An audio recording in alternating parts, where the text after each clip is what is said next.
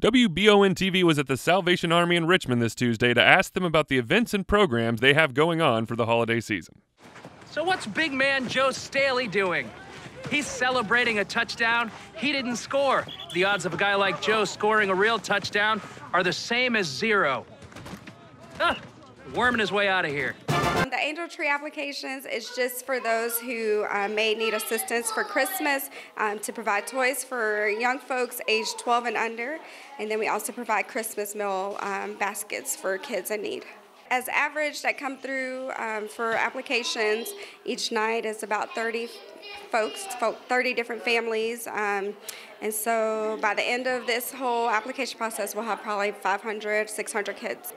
Well, um, starting in November, there's going to be angel trees that go out into different businesses and um, stores um, across the Richmond and uh, Estill and all those different counties. And so if you see an angel tree with tags, you just pull one and they'll have descriptions of all the kids' sizes and their wish list. And so you just go shopping and then you just return it back to us and we'll make sure it's all wrapped up for the kids to take home um, right before Christmas. So we, um, we're getting into our time where we'll need a lot of volunteers. So we'll have our angel tree warehouse where we'll need people um, to help when the gifts start coming in so that we can make sure that um, we have all the things that we need for those kids. Uh, we try to have, you know, two or three outfits and um, different toys for the kids.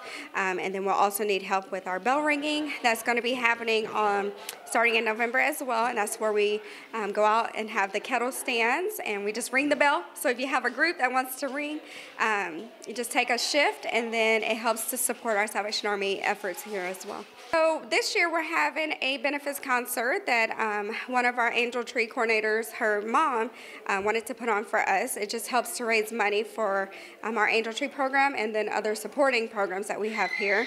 Um, and so it's going to be happening November 5th, a Sunday, or excuse me, November 6th, which is a Sunday. And so we have a lot of different um, groups and uh, folks who perform. They're going to come in and you know, just do Christmas, and we're going to have a good time that night from at six o'clock. And it's just a benefit concert, free for anyone that wants to come in, and we'll be taking up a love offering, and uh, we'll have concessions and things as well. It'll be here at the Salvation Army.